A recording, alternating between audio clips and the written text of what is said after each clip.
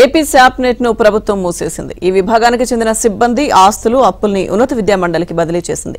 రెండు వేల పద్దెనిమిదిలో సొసైటీ ఫర్ ఏపీ నెట్వర్క్ను టీడీపీ ప్రభుత్వం ఏర్పాటు చేసింది. ఈ కార్యక్రమంలో భాగంగా మన టీవీ ద్వారా విద్యారంగానికి సేవలందించింది.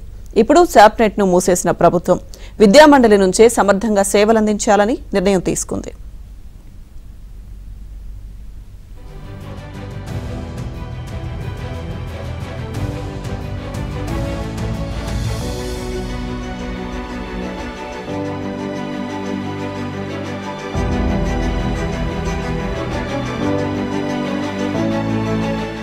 సేవలందించింది. ఇప్పుడు శాప్నెట్ను మూసేసిన ప్రభుత్వం విద్యామండలి నుంచే సమర్థంగా సేవలందించాలని నిర్ణయం తీసుకుంది.